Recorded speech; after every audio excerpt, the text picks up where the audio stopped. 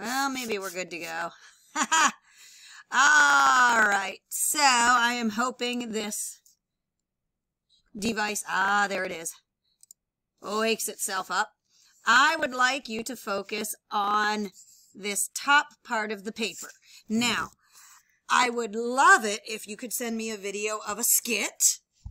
But if it's easier for you to make a dread, I would allow you to do a comic someone talked about um, earlier this week. Either In your skit or your drawing, I'm actually going to have you uh, start your thoughts in one of our three weaknesses that we talked about. Maybe you're going to pick that weakness. Maybe you're going to pick that weakness. Maybe you're going to pick that weakness. And you need to, once you know what the weakness is, oh, come on. There we go. You uh, possibly involve some other people, maybe with puppets. You need to make sure we know who or what is supposed to be the federal level and who or what is supposed to be the state level. And then you need to make it clear, acting out the thing that is the weakness of the Articles of Confederation. You need to also be sure that you say the name of this document that set up the government with this weakness. So you could very easily use this as a bit of a script. Hi, this character is the federal level. Uh, I am supposed to be this state.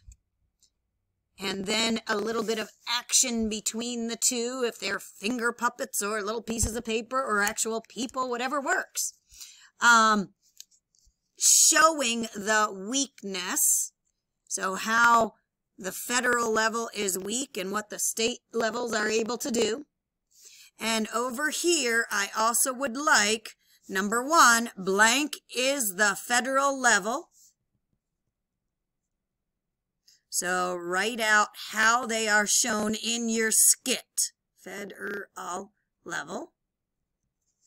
Number two, blank is the state and then name the state or states that you are having involved. Maybe you get a map and actually cut out a couple of the states that were states at this time. I don't know. Number three, then, which weakness are you showing? So, I showed blank weakness when the states did this and the federal level did that. And then number four, the name of the document set up the, you may abbreviate government, with that weakness.